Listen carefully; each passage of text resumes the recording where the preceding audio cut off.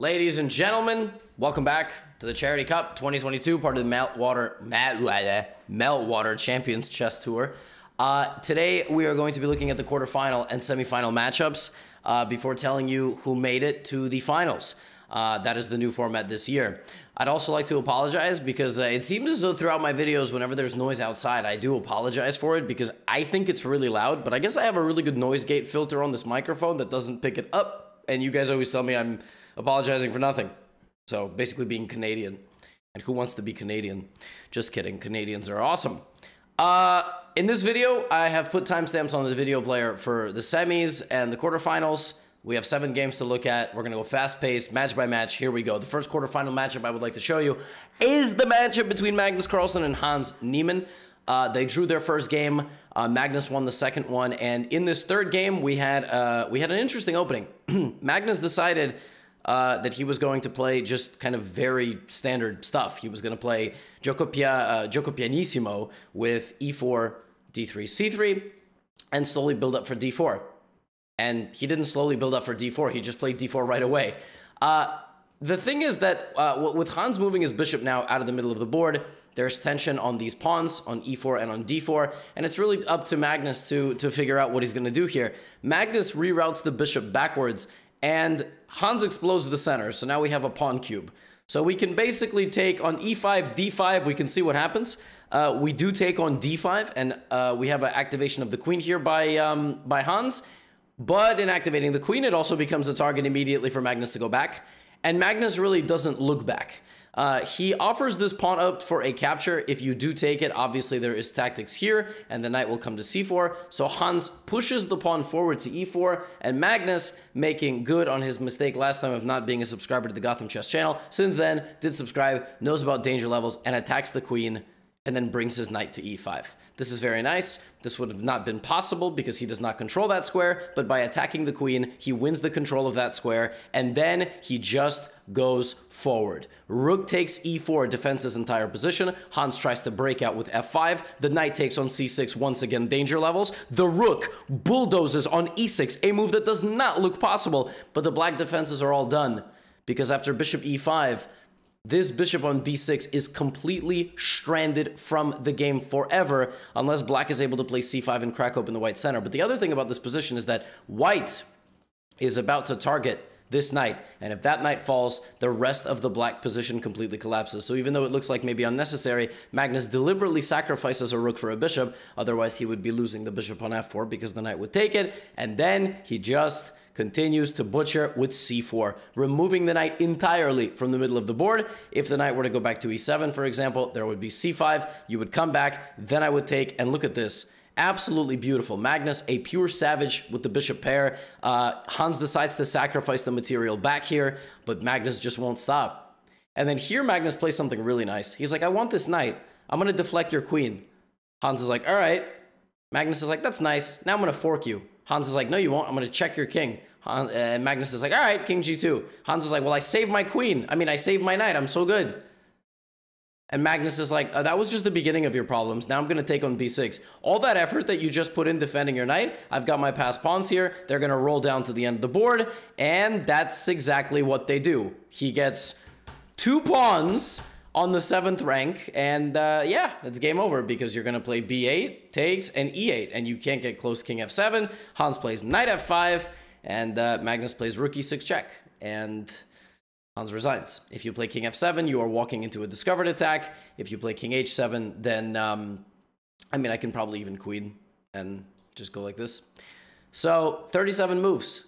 And like, like hot knife through butter. I mean, honestly, just like it was tense in the middle for like one move. And then uh, I guess Hans made one inaccuracy and the tidal wave came, sacrificing the rook, uh, removing this defense and the bishop pair just beautiful. You give Magnus the bishop pair, it's almost just not fair. I mean, it's, oh my gosh, Magnus with the bishop pair, it's just not fair. Okay, yeah, when I'm uh, sleep deprived and my throat hurts a little bit um, from allergies, uh, I get a little bit delusional. So, Magnus is our first semifinalist. He won the match two and a half to half versus Hans Niemann. The next semifinal matchup is between Le Quang Liem and David Navarro, Vietnam versus uh, Czech Republic. Liem won the prelims. He actually got uh, first place. Magnus was the second place finisher. Ginger lemon tea for the win. Uh, and this one was 1 1. So both guys won a game. Liem in game three decides to go for a two knights English, and we have d5. So David Navarro going for a Grunfeld esque position, and Liem plays the move h4. h4 is beautiful. I love this stuff. I mean, just just these flank pawn pushes to target Fianchetto setups in the King's Indian and the Grunfeld. The pawn makes it all the way to h5, and it's just a menace. I mean, it's just so annoying. Uh, Navarro's just trying to act like it's not there. He's sort of treating it like a crazy person on the New York City subway. Uh, and, you know, God bless the man, because if David Navarro applies those tactics on his next visit to New York, he absolutely will be left alone. And then when they get in your face, you just kind of skedaddle. But when they stay there, that's when it's annoying. Because now Liem just plays as if his H pawn isn't doing much at all. But see, now David Navarro is going to have a problem because white is ready to open the H file at a moment's notice. The queen is over here. The knight is coming this way. And David's just like, I'm not scared. I don't care. I'm completely safe. You have absolutely nothing. And Liem here plays something really funny. He's like, man, wouldn't it be nice if I could link up my queen and my rook? Boop. And boop. And it's mate. But luckily for Navarro, he's able to defend it. Now, you would think here that you just play g4, g5, and you win the game. It's not so easy because if you play g5, I block your queen. And this is the last thing that you want. If you have negated all the principles of chess, like castling your king, playing in the middle, developing your pieces, just for mate, some of you do this. Some of you beginners, you just attack with queens and other pieces and you're like, ooga booga, ooga booga, ooga booga, I have to win the game. But then all of a sudden you don't have mate, you haven't developed anything, you're going to lose the game. Well, you can't play like this. So Liem now has to actually consolidate, right? So he develops a little bit, he protects the pawns in front of his king, and here he plays a hilarious move. He plays the move King F1. That move is really funny.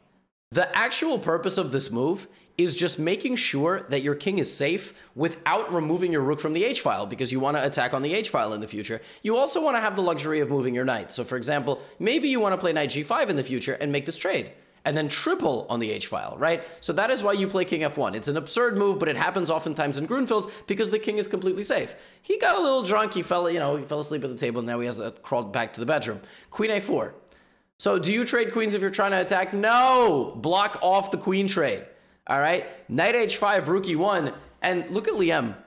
The kingdom is just moving that way. Have you ever seen a position like this? Everyone's just migrating all of his pieces are slowly moving further and further to the right as the attack on the king side is going all in. Navarro tries to get some center space, but here's g4. Navarro bulldozes down the middle. He's like, I mean, I might as well. His king is right there. I got to open everything up. E takes d3.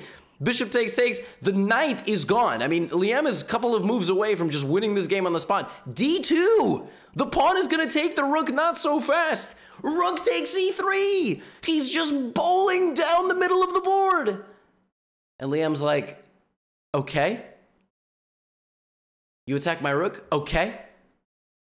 F6, danger levels. You attack my knight, but I target your queen. And now I'm forcing you into a queen trade, or I'm going to go down here and mate you. And you don't want to play this position, do you? Just down a full rook. And Navarro says, no, I don't. So I resign. And that is how Liem became our next semifinalist. Liem awaits the winner uh, of Duda's matchup. No, I apologize. Liem awaits the winner of, yes, of the Duda matchup, uh, which we will be looking at momentarily against David Anton. Uh, what a game. I mean, honestly, what a game. Hilarious game, right? Just the peace migration and everything, just everybody going over there. Awesome stuff.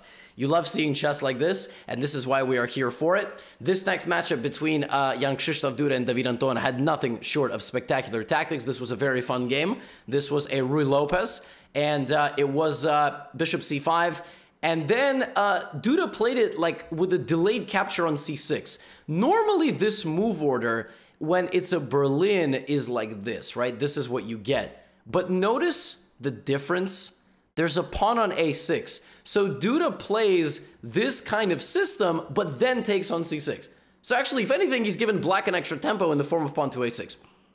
I mean, I don't think it really matters, but it's just kind of funny h3, a5, a4, the players meet the pawns on the queen side, and Duda rotates the knight because he wants to go bring it toward his king. Very common, in case your opponent castles short, you will be attacking him with your knights and your bishop. So, David Anton is like, well, I'm not gonna do that because I know what you want, so I'm gonna go long. All right, fantastic, boys. That means that if both sides have castled long, this game will not last longer than 15 moves. It is move 13. You have all of your pawns. Let's see a player win the game by move 28. C3, B4, F5, G5, H5, blah, blah, blah, blah, blah. Here we go. Bishop E3, H5. Takes, takes, H4. David Anton is the first one to fulfill the prophecy of crossing the middle ground. And uh, he plays rook H5, and it's very clear he has very bad intentions for his opponent.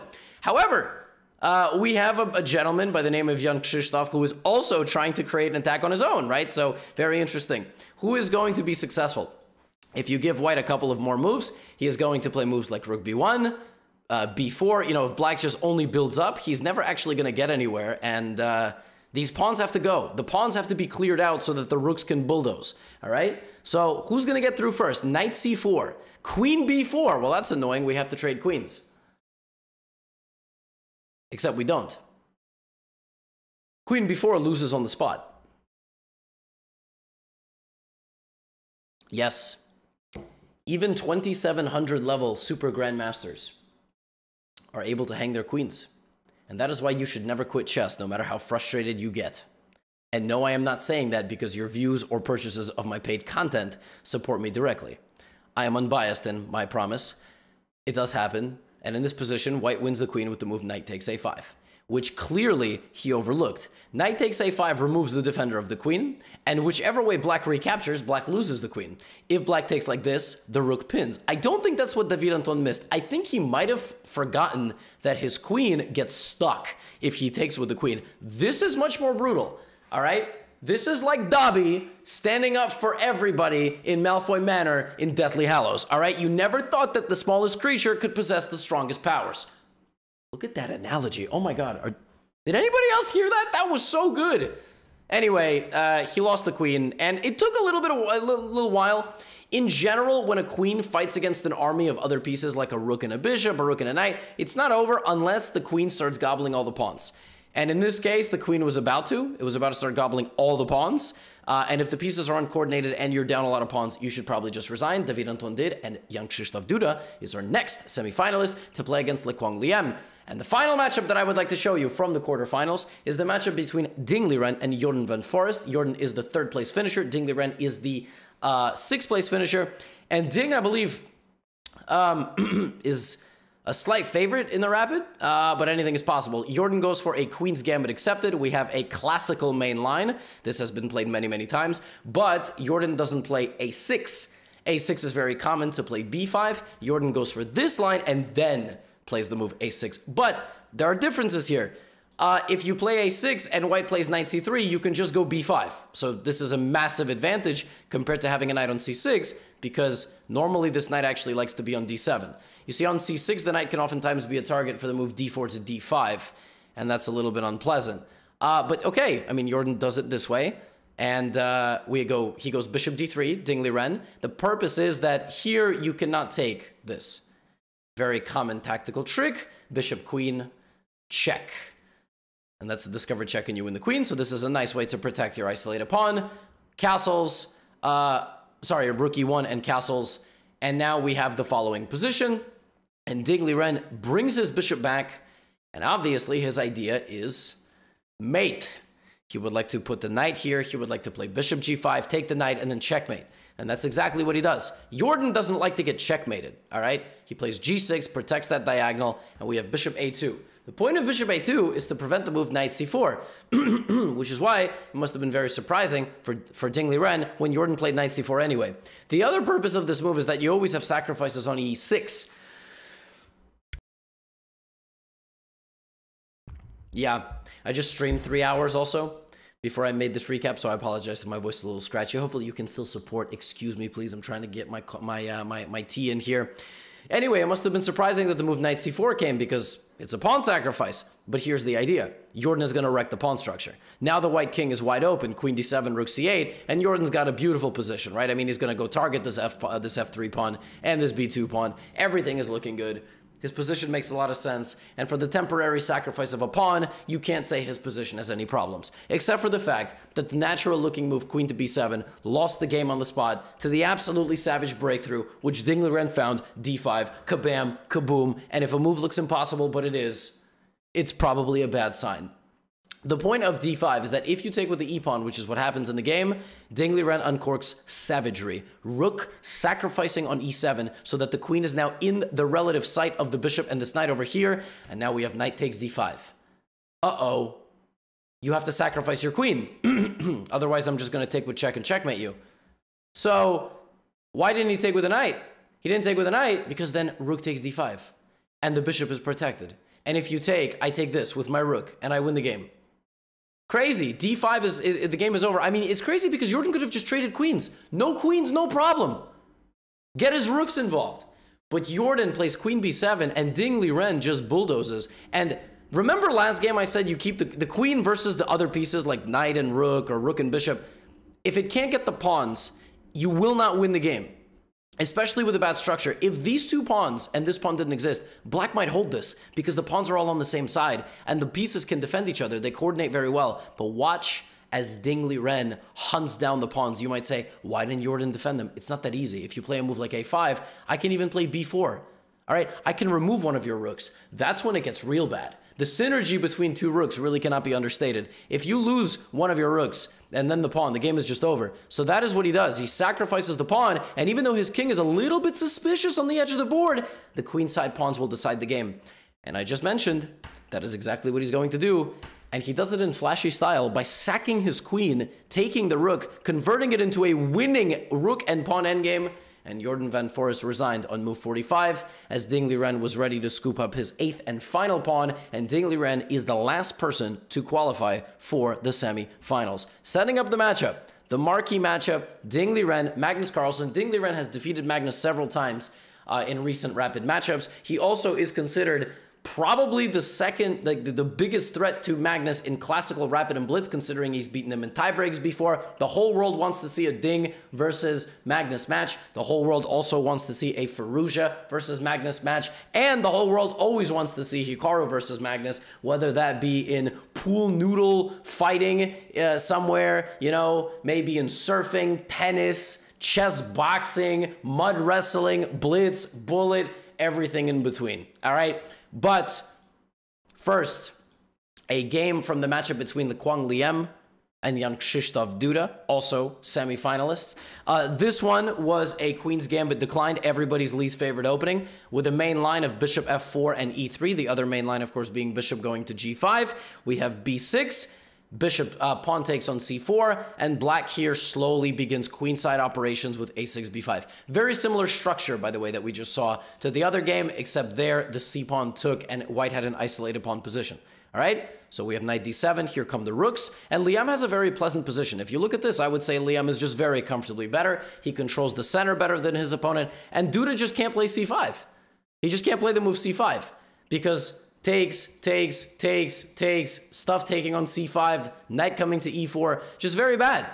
I mean, if anybody's won the battle of the opening, it's Liem, and he starts to make use of that by attacking the middle, right? Once you've got all your pieces developed, you now have to start tipping the balance more and more. He could even play f4. He could even go for a stonewall lockdown on his opponent. He does it this way, and then a few moves later plays f4, and I mean, he's just much, much better. So what do you do when you're much worse? You start trading pieces right? Yeah, well, I, he trades the rook. If white had taken with the rook like this, b4, rook d8, etc. Um, so actually b4 just trapped the knight. Yeah, so you have to take with the knight. So he trades rooks, he brings his rook, and uh, he plays like this. I mean, he, you know, Duda is trying to trade pieces to relieve himself of the pressure and try to maybe send this game into an endgame. And but still, Liem controls everything. The center of the board is controlled by Liem. The queen side is controlled by Liem. The king side is controlled by Liem. The thing is, when you have a much better position, you can't just sit there and be like, I'm better. You actually have to win. You've made all the easy moves. Go for the win. Liem's like, okay, Gotham, I hear you. G4. I am breaking over, open his king. Here comes rook G1. Here's the problem. Just because your position is better and you try to win doesn't mean you're going to win. Because now you're giving your, oppor your, your opportunities also to your opponent. Takes, takes, king f1, king f7, rook g1. And Duda's like, oh, you going over there? Oh, that's real cute because now I have a pass pawn. Hello. Now white is still better.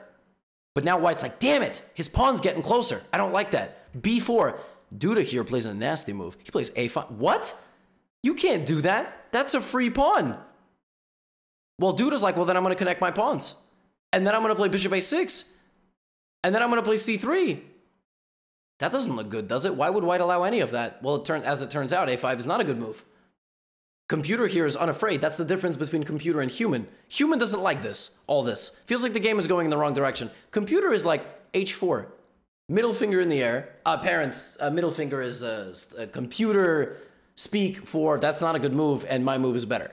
Just, it's just look, yeah, sorry. Just explain it to the kids. Kids, your parents are not lying. I promise. So, A3. Liem doesn't like it very much. Okay? Liem uh, really finds this uncomfortable, but here's the problem.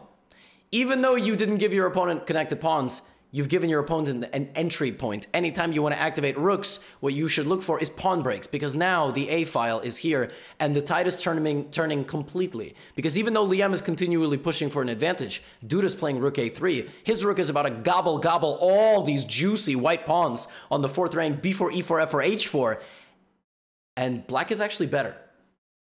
So here comes Duda. Bishop f2, king e8. His king walks out to d8. What?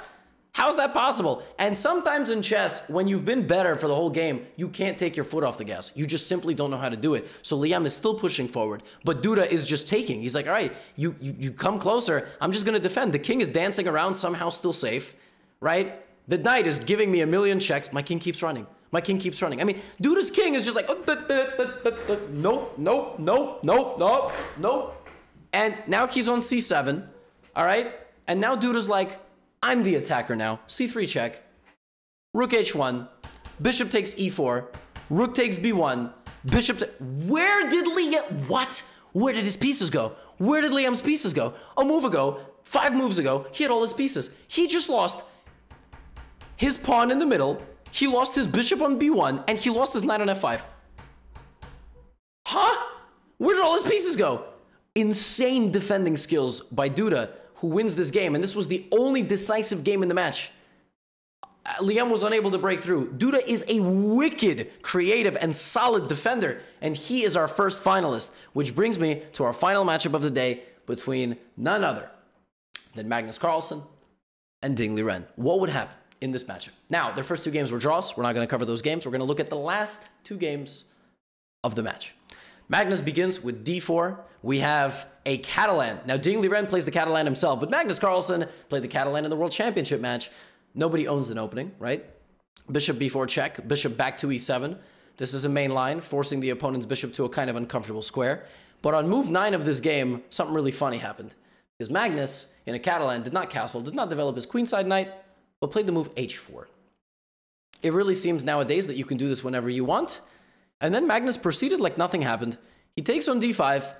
Ding Liren attacks him on the queen side with the move b5, trying to go b4, reactivating his bishop. Magnus says nope. Rook c8, rook f c1. Why rook f c1? Why would you play rook f c1? Well, because you have no battle on the king side. There's no battle there. h4 was a decent gaining of space, and maybe in the future, in the end game, this move will actually come in handy and will be proven that Magnus is a genius. But for now, the battle on the queen side is where we need both the rooks. So rook fc1, the queen moves out of the way of the black rook. We have knight back to a2, and now we begin uh, the, the real kind of piece transfer, the bishop coming back to f1, right? Rook takes rook, rook takes rook, and now it really doesn't matter which rook you had put on c1. Queen a8, the bishop goes to c7. Bishop c7 is such a disrespectful move. It's such a disrespectful move. Bishop c7 is so funny. It prevents black from moving knight b6, but also it prepares potentially bishop a5 and bishop to b4, trading off black's good bishop. Between black's two, piece, two bishops, five of black's seven pawns are on light squares, which means the light squared bishop is not very good, right? So Magnus prepares a maneuver to trade off Ding Liren's uh, good bishop with the move bishop b4. That is why his bishop is on a5 right now. It goes around bishop c7 to trade and also to just control squares. I mean, Magnus is, his chess is so annoying. It's just so annoying to deal with because now what do you do? You cannot move two pieces. If you move your knight to f5, you just, this is a bad trade for black. That bishop is horrible. So knight b6, knight c1. Ding Liren makes some counterplay, but Magnus is right there. He's just slightly better. He's constantly torturing you, but Ding is no slouch. And Ding attacks a4, freezes the opportunity for any of Magnus's pieces to go to b3, and locks down his pawns. It's anybody's game. Magnus decides, I want to take on c4. Ding takes on c4. He's like, Magnus, what are you doing? Sometimes when a player puts up big resistance to Magnus, it makes Magnus do something a little drastic. And in this case, why did he activate Black's bishop? Right? Knight b4. This is why. Because he seems to think that even though he got rid of the black bishop, he's still more active and he's still able to apply pressure. But Ding Liren is playing like a machine. Equal on all four. It's 0 0 0. Fighting back for 30 moves from a slightly unpleasant position. King f3. Magnus is marching his king forward. Ding Liren plays e5. What? Is going on? Knight into d5, a bishop trade. The knight lands on d4. Ding Liren calmly, king f8. I'm also going to bring my king. The position is completely equal. Both knights, like yin and yang, hanging in the middle of the board. Who's going to win this damn game? This is insane. It's 0 0 0. It's 0 0 0.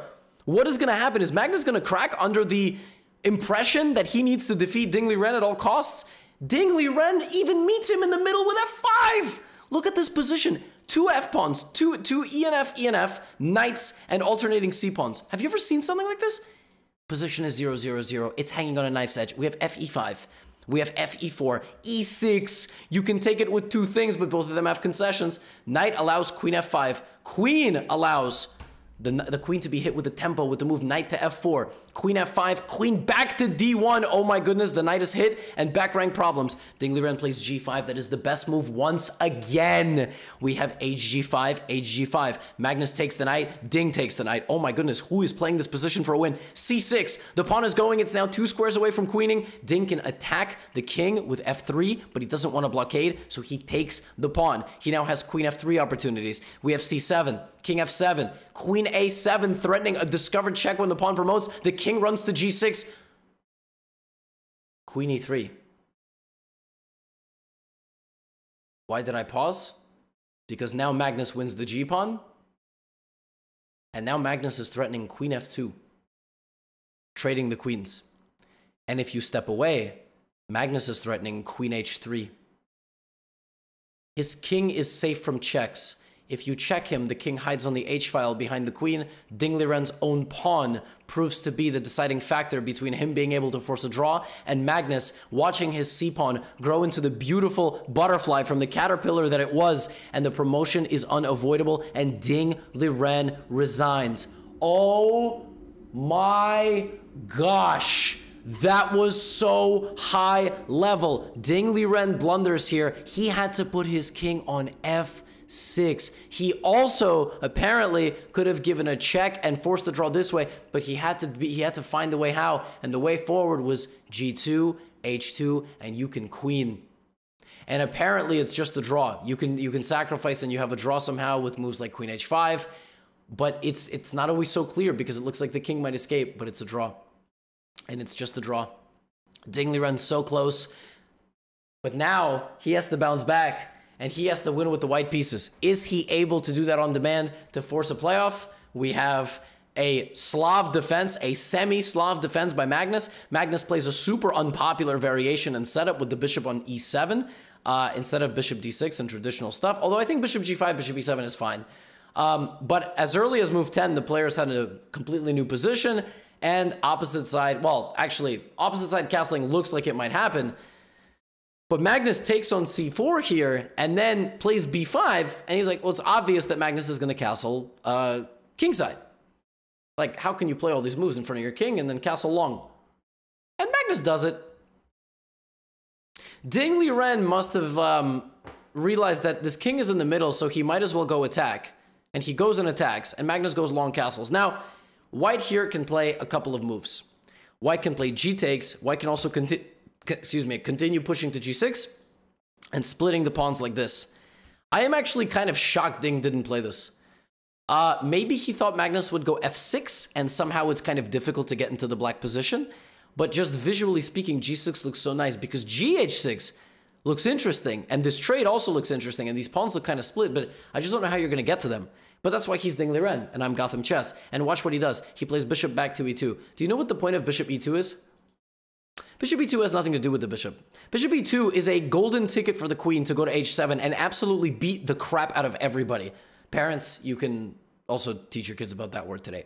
Rook to h8 covers that, but rook h8 is a depressing move because white will play rook c1 and switch the tempo completely. So Magnus plays f5. That is a ultra committal decision. Ding Liren attacks that center of the board and begins playing rook c1. Now, make no mistake, white is absolutely better. Why is white absolutely better? Because of the passive nature of the black pieces and the split pawns. So white is better. Queen f4. Knight fd2, but Magnus says, what? Gotham? Ding should not have played a move like a3. He shouldn't have played it slow. He should have respected my infiltration. He should have maybe played g3, because now that you've allowed my queen to get here, remember when you called my bishop passive? c5. You might control that more than me, but my tactical opportunities in this position exist, and I hit both knights. When, this, when, when all this opens up, I'm going to hit both knights. So Ding tries to kick the queen out and then take but it doesn't help. It doesn't help because you take on c5. I mean, there's the the rook is always taking the knight at the end of the day. It can take the knight now. You can also play bishop c5, queen f5, pawn f5, rook c5, rook d2. Oops.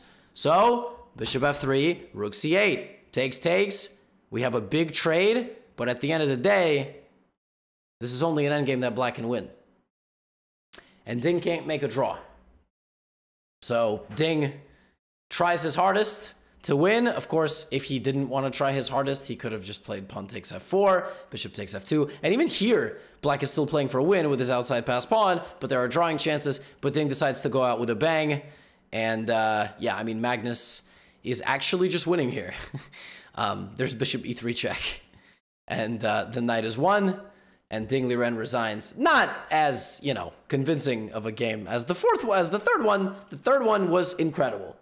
Uh, Ding and Magnus put on incredible displays of, of, of chess dominance when they play. That, that, that third game could have made a game on its own. I mean, it was so tense. It was unbelievably high strung. They were playing at such a high level. And Ding, obviously, I mean, he's playing this final game at like four in the morning or some ridiculous time in China. Um, that's obviously, I mean, I'm not trying to put excuses for the guy. Magnus was the better player, of course. But uh, yeah, I mean, these two guys really make some amazing memories together. Uh, okay, this is starting to sound like some romantic chess novel. I will see you all back tomorrow for the finals. It's Duda, it's Magnus, and uh, it's Gotham Chess Recaps. I'll see you all tomorrow. Get out of here.